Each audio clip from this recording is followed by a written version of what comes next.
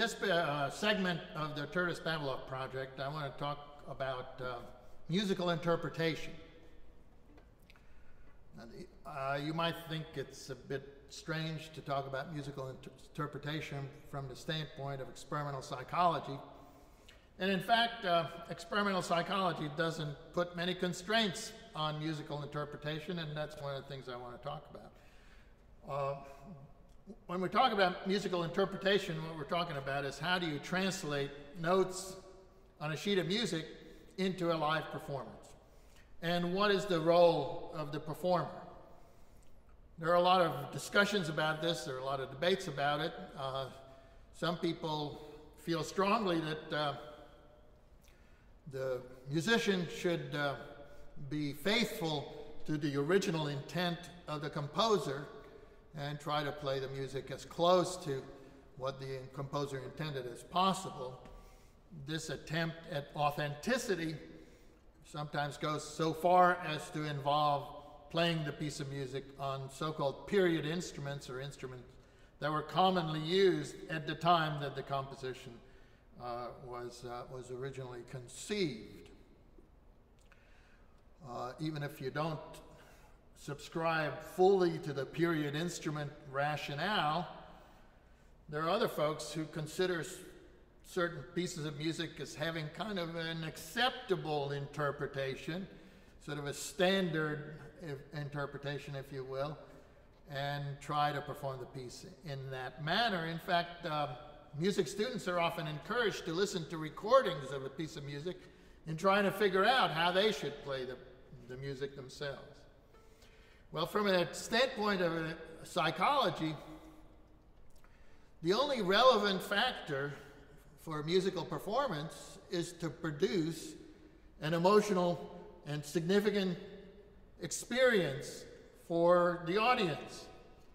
And from that perspective, there are very few limitations on what liberties the performer might wish to take in order to maximize the impact of the piece. Turns out that how the performer approaches this thing can have dramatic effects on the nature of the performance and the experience of the audience.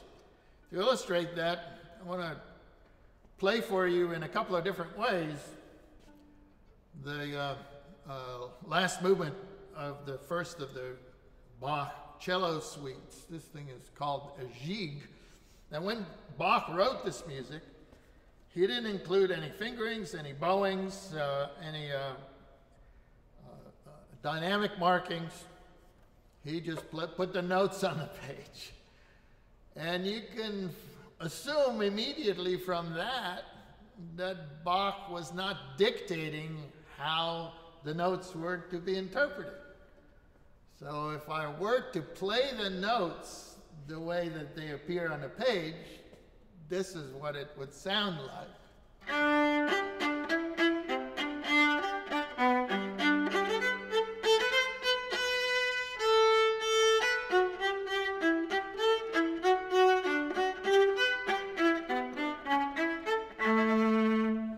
it's a jig, and so it's in three quarter time, and.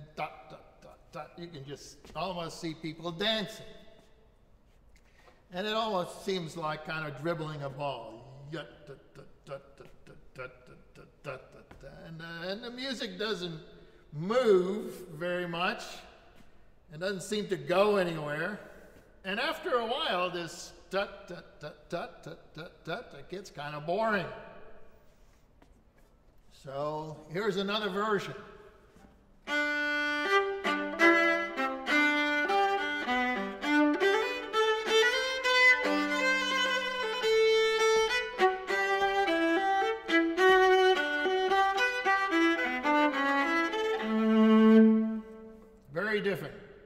Almost like it's a totally different piece.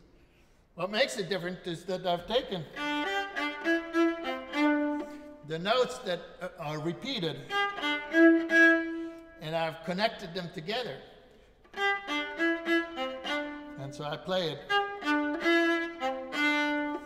And what that does is it puts the emphasis of the uh, beat on the second beat of the measure instead of the first, and so it breaks up this da da da da da da. It's da da da da da da, which makes it quite a bit more exciting, I would suggest.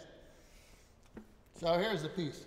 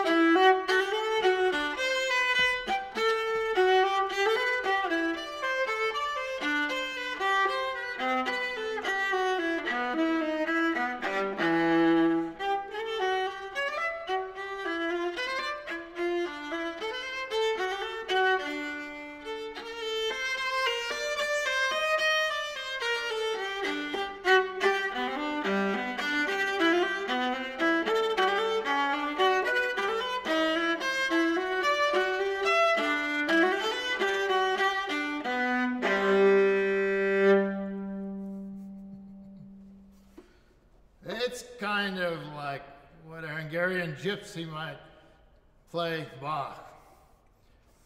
Would Bach be upset by hearing his music performed this way? I rather doubt it. First of all, I suspect that Bach would be flattered that his music is being played at all more than 250 years after his death. I would hope, being a good musician, and uh, interested in sound and sequencing, that he would be pleased to hear this piece played on the viola, even though he composed it for the uh, cello. And I bet he'd be kind of amused by these syncopations, which were not clearly indicated in the uh, original composition. Anyway, it's kind of fun, isn't it?